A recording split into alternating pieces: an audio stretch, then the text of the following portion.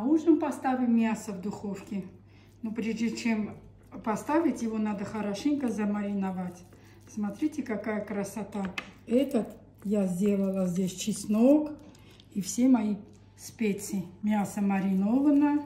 Я просто сделаю, чтобы она была румяной на вечер. И картошка еще жарить будем. Когда я мясо покупаю, половину мариную в холодильник вставляю. Вот когда мне быстро что-то надо вечером или мало ли что, гости, быстренько. Уже вот так мариную, маринованная уже она.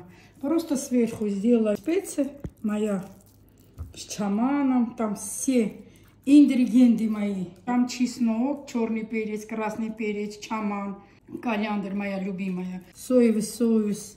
Смотрите, какой красивый цвет. Очень. Так что готовьтесь любую. Ну вот, смотрите, дорогие мои.